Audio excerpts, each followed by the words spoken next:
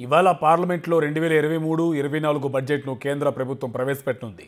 ఆర్థిక శాఖ మంత్రి నిర్మలా సీతారామన్ బడ్జెట్ నివేదించనున్నారు. ఎన్డీఏ టూ సర్కార్ ప్రవేశపెడుతున్న చివరి పూర్తి స్థాయి బడ్జెట్ ఇదే. ఉదయం పదిన్నరకు కేంద్ర కేబినెట్ సమావేశం కానుంది.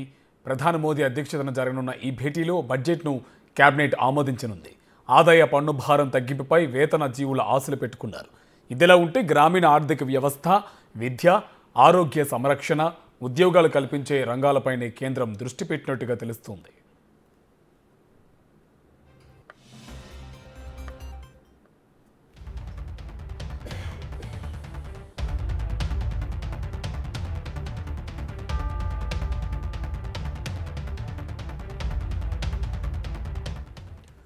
పన్ను భారం తగ్గే అవకాశాలపై వేతన జీవుల ఆశలు ఓవైపు తీవ్ర ఒత్తిడికి గురిచేస్తున్న ద్రవ్యోల్బణం ముంచుకొస్తున్న మాంద్యం ముప్పు మరోవైపు. ఈ పరస్పర విరుద్ధమైన పరిస్థితుల నేపథ్యంలో కేంద్ర ఆర్థిక మంత్రి నిర్మలా సీతారామన్ లోక్సభలో బడ్జెట్ను ప్రవేశపెట్టబోతున్నారు. రెండు వేల పంతొమ్మిదిలో వరుసగా రెండోసారి అధికారంలోకి వచ్చిన మోదీ సర్కార్ పెట్టబోతున్నటువంటి ఆఖరు బడ్జెట్ ఇదే. వచ్చే ఏడాది ఎన్నికల సంవత్సరం ఓటాన్ అకౌంట్ బడ్జెట్ ప్రవేశపెట్టి ఎన్నికలకు వెళ్ళాల్సి ఉంటుంది. ఈ నేపథ్యంలో ఈసారి పన్నుమోత నుంచి కొంతైనా ఉపశమనం దొరుకుతుందని సామాన్యులు ఆశాభావం వ్యక్తం చేస్తున్నారు.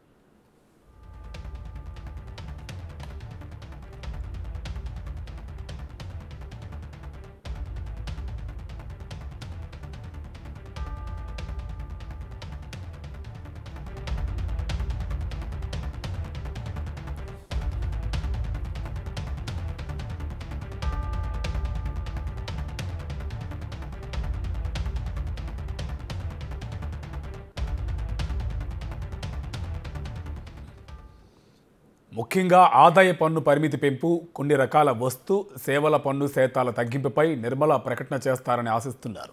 తమకు ఊరట కలిగిస్తారని బీజేపీకి అత్యంత కీలకమైన ఓటు బ్యాంక్గా ఉన్న మధ్య ఎగువ మధ్యతరగతి ప్రజలు ఎదురుచూస్తున్నారు. అలాగే గ్రామీణ ఉపాధి హామీ పథకం తరహా పథకాల ద్వారా చేసే వ్యయాన్ని పెంచాలని పేదలు కోరుకుంటున్నారు. వారి ఆశలు ఆకాంక్షలకు ప్రాధాన్యమిస్తూనే ఆర్థిక క్రమశిక్షణ కట్టు తప్పదని బడ్జెట్ను ప్రవేశపెట్టడం నిర్మలా సీతారామన్కు కత్తి మీద సామేనని చెప్పొచ్చు.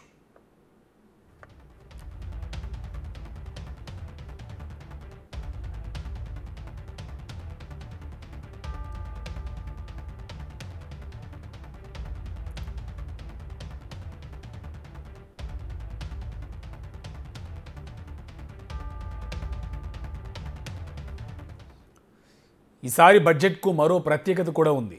ప్రపంచాన్ని కుదిపేసిన కరోనా మహమ్మారి శాంతించాక రష్యా ఉక్రెయిన్ యుద్ధం నేపథ్యంలో ప్రపంచవ్యాప్తంగా ఏర్పడిన భౌగోళిక రాజకీయ పరిణామాల నడుమ పెడుతున్న తొలి బడ్జెట్ ఇది. ఈసారి బడ్జెట్లో ఆరోగ్య సంరక్షణ విద్య గ్రామీణ ఆర్థిక వ్యవస్థపైన ఉద్యోగాలు ఎక్కువగా కల్పించే రంగాలపై దృష్టి పెట్టినట్టుగా తెలిసింది. మరి ముఖ్యంగా చిన్న వ్యాపారులపైన కేంద్రం ఎక్కువగా దృష్టి సారించే అవకాశం ఉందని ఆర్థిక నిపుణులు అంటున్నారు. గత అనుభవాల ఆధారంగా చూస్తే చాలామంది ప్రజలు ఆశిస్తున్నట్టు మోదీ సర్కార్ ఈసారి బడ్జెట్లో ప్రజాకర్షక నిర్ణయాలేవి ప్ర- ప్రకటించకపోవచ్చని అంచనా వేస్తున్నారు. మధ్యతరగతి ప్రజలపై ఒత్తిళ్ళు గురించి తనకు తెలుసని నిర్మలా సీతారామన్ ఇటీవలే వ్యాఖ్యానించినందున పన్ను చెల్లింపుదారులకు కాస్తంతైన ప్రయోజనం చేకూర్చే నిర్ణయాలు ఆమె తీసుకోవచ్చని మరికొందరు ఆర్థిక నిపుణులు అభిప్రాయపడుతున్నారు.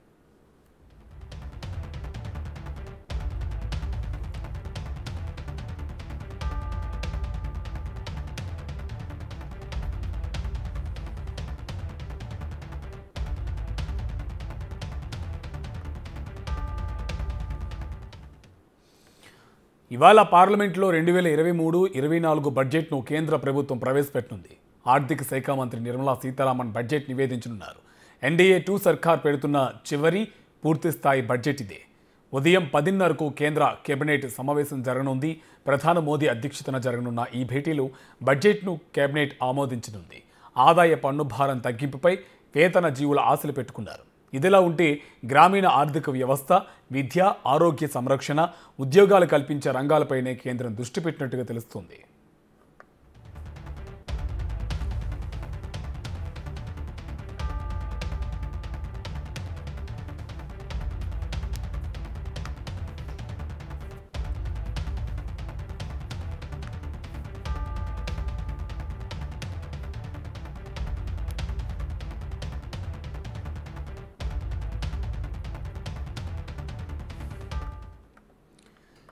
ఎసక ఇదే అంశంకి సంబంధించి మరింత సమాచారం మా కరస్పాండెంట్ సవీన్ ఫోన్ లైన్ అందిస్తారు. Saveen good morning. సో మొత్తంగా బడ్జెట్ పైన చాలా వరకు మధ్యతరగతి పేద ప్రజలంతా హోప్స్ పెట్టుకున్నారు. సో మొత్తంగా అప్డేట్స్ ఏంటి? కేంద్ర ప్రభుత్వం ఈ రోజు ప్రవేశపెట్టబోయే బడ్జెట్ కీలకంగా ఉంది. ప్రధానంగా తొమ్మిది రాష్ట్రాలకు అసెంబ్లీ ఎన్నికలు జరగడంతో పాటు రెండు వేల ఇరవై నాలుగు లోక్సభ ఎన్నికలు సమీపిస్తున్న నేపథ్యంలో కేంద్ర ప్రభుత్వం ఈ రోజు కేంద్ర బడ్జెట్ను ప్రవేశపెట్టబోతోంది. ఆర్థిక శాఖ మంత్రి నిర్మలా సీతారామన్ ఉదయం పదకొండు గంటలకు కేంద్ర బడ్జెట్ను సమర్పణ చేయబోతున్నారు. ప్రధానంగా నిన్ననే కేంద్ర ఆర్థిక సర్వేను విడుదల చేశారు. ఈ రోజు ఉదయం పదిన్నర గంటలకు ప్రధానమంత్రి నరేంద్ర మోడీ అధ్యక్షతన కేంద్ర కేబినెట్ సమావేశం జరగనుంది. కేంద్ర ప్రభుత్వం ప్రవేశపెట్టబోయే బడ్జెట్కు సంబంధించి ఆమోద ముద్ర కేంద్ర కేబినెట్ వేసిన తర్వాత ఉదయం పదకొండు గంటలకు కేంద్ర ఆర్థిక శాఖ మంత్రి నిర్మలా సీతారామన్ కేంద్ర బడ్జెట్ను ప్రవేశపెట్టబోతున్నారు. నిన్న కేంద్ర ప్రభుత్వం విడుదల చేసిన ఆర్థిక సర్వేలో రెండు వేల ఇరవై రెండు ఇరవై మూడుకు సంబంధించి ప్రధానంగా ఏడు శాతం ఆర్థిక వృద్ధి రేటు నమోదైంది. రెండు వేల ఇరవై మూడు ఇరవై నాలుగుకు సంబంధించి దాదాపు ఆరు పాయింట్ ఎనిమిది శాతం వృద్ధి రేటు నమోదయ్యే అవకాశం ఉందని కేంద్ర ఆర్థిక శాఖ సర్వే వెల్లడించింది. ప్రధానంగా ఇప్పటికే బీజేపీ నేతృత్వంలోని కేంద్ర ప్రభుత్వం అనేక రకాల జీఎస్టీలు వేసి పన్ను భారాలు వేసి సామాన్య పేద ప్రజల నడ్డి విరుస్తుందని ప్రతిపక్షాలు ఆరోపణలు చేస్తున్న నేపథ్యంలో ఈ బడ్జెట్ కేంద్ర ప్రభుత్వానికి కీలకం కానుందని చెప్పుకోవచ్చు. ఎందుకంటే అనేక రకాలైన విమర్శలు కేంద్ర ప్రభుత్వంపై ప్రతిపక్ష పార్టీలు కావచ్చు విపక్ష పార్టీలు కావచ్చు ప్రాంతీయ పార్టీలు చేస్తున్నాయి. అదేవిధంగా ముఖ్యంగా కార్పొరేట్లకు కేంద్ర ప్రభుత్వం అనుకూలంగా వ్యవహరిస్తుంది. ఇటీవల కాలంలో ఆదానీ కంపెనీలకు సంబంధించి హిడెన్బర్గ్ నివేదిక కూడా కేంద్ర ప్రభుత్వానికి కొంత మైనస్గా మారిన నేపథ్యంలో కేంద్ర ప్రభుత్వం ఈ బడ్జెట్లో ఎట్లాంటి అంశాలను పొందుపరుస్తుంది? అదేవిధంగా తెలంగాణతో పాటు కర్ణాటక మధ్యప్రదేశ్ రాజస్థాన్ ఛత్తీస్గఢ్ ఈ ఐదు రాష్ట్రాలు బీజేపీకి కీలకం కానున్నాయి. ముఖ్యంగా కర్ణాటకలో దక్షిణాదిలో బీజేపీ ప్రభుత్వం ఉంది. దక్షిణాది రాష్ట్రాల్లో కేవలం కర్ణాటకలోనే బీజేపీ ప్రభుత్వం ఉంది. అదేవిధంగా మధ్యప్రదేశ్ రాజస్థాన్ ఛత్తీస్గఢ్ రాష్ట్రాలు కూడా బీజేపీకి కీలకం కానున్న నేపథ్యంలో ఈ ఐదు రాష్ట్రాలకు బడ్జెట్లో ఏ విధమైన నిధుల కేటాయింపు జరుగుతుంది ఏ విధమైన ప్రాజెక్టులు కేటాయిస్తారు? ఇంతకుముందు రైల్వే బడ్జెట్ను వేరుగా సమర్పణ చేసేవారు ఇప్పుడు ఆర్థిక శాఖ బడ్జెట్తో కలిపే రైల్వే బడ్జెట్ను కూడా ప్రవేశపెడుతున్న నేపథ్యంలో ఇప్పుడు తెలంగాణకు సంబంధించి కాజీపేట రైల్వే కోచ్ ఫ్యాక్టరీ అడుగుతున్నారు బయ్యారం ఉక్కు ఉక్కు ఫ్యాక్టరీ ఇవ్వాలని కేంద్ర ప్రభుత్వాన్ని రాష్ట్ర ప్రభుత్వం డిమాండ్ చేస్తున్న నేపథ్యంలో ఈ అన్ని అంశాలు కీలకం కానున్నాయి. ఇప్పుడు ఎన్నికలను దృష్టిలో పెట్టుకుని కేంద్రం ఏ విధమైన పన్ను రాయితీలను ప్రజలకు కల్పిస్తుంది. ఏ విధమైన పేద మధ్య తరగతి ప్రజలకు ఏ విధమైన ఉపశమనం ఇస్తుందనేది ఇక్కడ ప్రధాన అంశంగా మారింది. ఎందుకంటే చేనేత వస్త్రాలపై కూడా కేంద్రం జీఎస్టీ విధించిందంటూ పెద్ద ఎత్తున విమర్శలు చేస్తున్న నేపథ్యంలో ఏమైనా మినహాయింపులు ఉంటాయా? కేంద్రం బడ్జెట్లో ఎట్లాంటి అంశాలు చోటు చేసుకోబోతున్నాయనేది ఇక్కడ ప్రధాన అంశంగా మారిందని చెప్పుకోవచ్చు. అండ్ సవేన్ ఇప్పుడు మెయిన్ మాంద్యం భయాలు ఒకవైపు ఉన్నాయి. సో ఇలాంటి మాంద్యం టైంలో కూడా చాలా వరకు బడ్జెట్ కూడా ప్రధాన కీలకం కాబోతుంది. ఇంకోవైపు ఎడ్యుకేషన్ డిపార్ట్మెంట్కి సంబంధించి ఎడ్యుకేషన్ వ్యవస్థకి సంబంధించి ఎంతవరకు ప్రాధాన్యం ఉంటుందనేది కూడా ఇంకోవైపు క్వశ్చన్ మార్క్ కనిపిస్తుంది. సో దానికి సంబంధించి అప్డేట్స్ ఏంటి?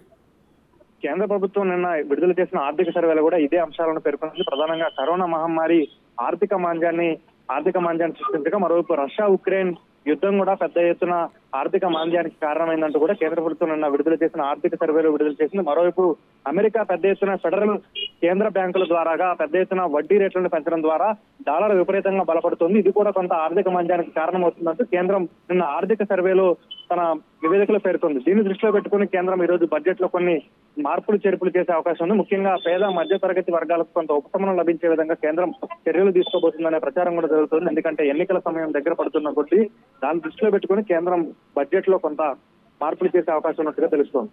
Right thank you